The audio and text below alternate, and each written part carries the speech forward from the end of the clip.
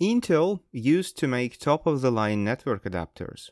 After all, it was Intel who forced the world to accept Wi-Fi with their Centrino laptops. Same goes with Ethernet. Intel was one of the first who made decent and affordable 1 gigabit and later 2.5 gigabit and 10 gigabit network adapters. They were reliable and performed really well, especially compared to cheaper options like Realtek. However, nowadays, Realtek continues to produce mediocre network adapters, but unfortunately, the options from Intel became a headache. And the biggest problem they're very often built into the motherboard or use a daughter board and it may be a little bit hard to replace them with something else. For example, Intel Wi-Fi adapters of the AC series, for example AC160, have been suffering from poor drivers for at least three years now. And Intel Ethernet adapters of the i series, for example i219V in this case, often report code 10 error in Windows, which means the device cannot start. And yes, that is an I, not an L, However, the particular model is not important, since the fix I'm going to show you should work on all Intel Ethernet controllers. If you try to search for a solution online, some wild suggestions may come up, for example, disabling all your USB concentrators in your device manager in Windows, or manually reinstalling Intel Ethernet driver with something else, which will still give you a code 10 error, and others suggest that you need to go to the properties of the misbehaving Intel Ethernet adapter and disable certain additional features like energy efficient Ethernet and all the wake settings, for example wake on LAN, which is wake on magic packet.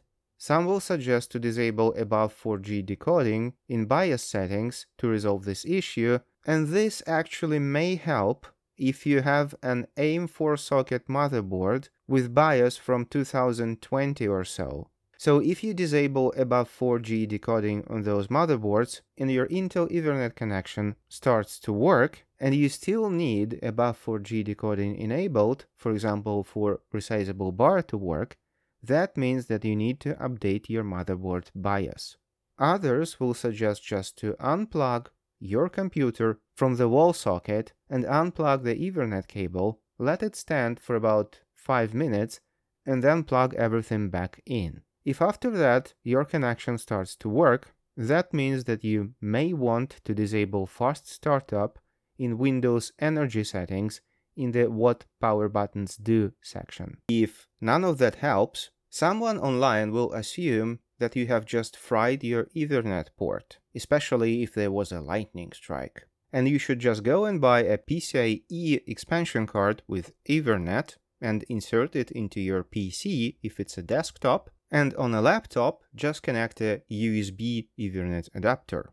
Well, that is certainly a possibility, however, most Intel Ethernet adapters are able to sustain 15 kilovolts and still not be fried. So a burnt Ethernet port is certainly a possibility, but the probability of that causing your networking issues is very low, especially if the network port still has some lights shining up, for example the orange LED. So the actual reason for this problem is that Intel adapters have NVRAM memory where they store certain parameters.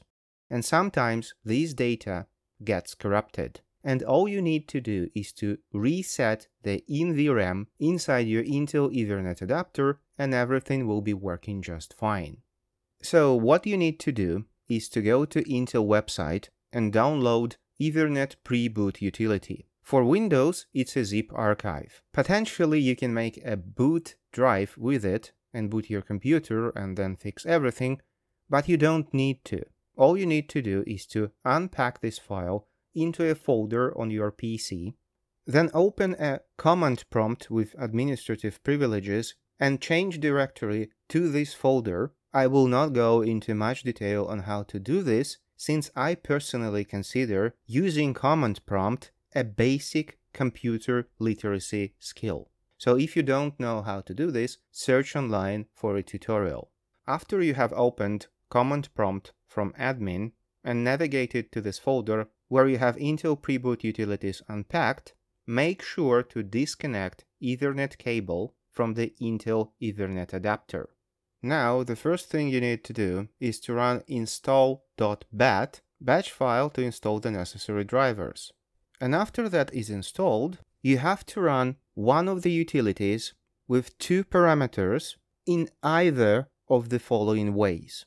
The first one is when you specify the NIC, which is the Ethernet adapter you want to reset. In this case, it's minus 1 NIC 1, which is the first Ethernet controller, the only one present on this machine, and then also specify the default config parameter, or you can reset all the Ethernet adapters. This is safe to do when you have only one adapter from Intel, which will be the case in most situations. So then you just specify minus all and minus def config, which is the shortened version of default config. So after you run this command, it will successfully reset the NVRAM settings stored inside Intel controller, then you can reboot your PC, connect back the Ethernet cable, and your Intel Ethernet adapter will start working again. If running the default config command gives you an error, unable to locate the driver component, that means that you don't listen to what you're being told, and you did not run install.bat to install the necessary drivers. Do that now, and then repeat the command, and this time it should work. Again, this is a hardware issue. The difference between, for example, Realtek Ethernet controllers and Intel Ethernet controllers is that Realtek is a software-based solution. That means that it does most of the processing on your CPU, while an Intel Ethernet controller is a hardware solution, and most of the processing is done on the chip inside the Ethernet controller itself. That means that reinstalling Windows will not help. And even installing Linux instead of Windows also won't help. You need to clear the NVRAM settings. And if you are using Linux, on the same web page, Intel provides a Linux version of the same utility, and running it to reset your Intel Ethernet connection in Linux is very similar to doing that in Windows. I'm the god of YouTube. Like, subscribe, jingle bells.